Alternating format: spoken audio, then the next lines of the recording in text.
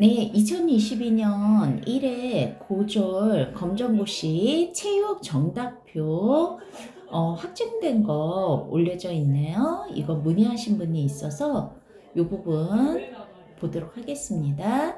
여기 보시면 1번부터 시작을 해가지고요. 5번까지 체크 한번 해보시고요.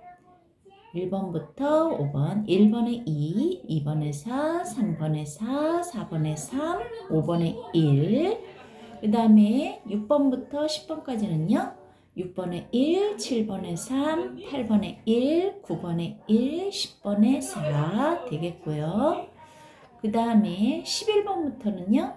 11번에 2, 12번에 2, 13번에 3, 14번에 2, 15번에 2, 16번에 2, 그 다음에 17번에 4, 18번에 3, 19번에 4, 20번에 3이 되겠고요.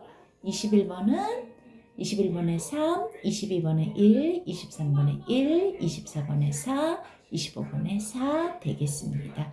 그래서 2022년도 제1회 고졸 검정고시 지금은 학점 답으로 나왔거든요. 이 신청 그 기간이 다 끝났고요. 이걸로 체크하시면 되겠습니다. 감사합니다.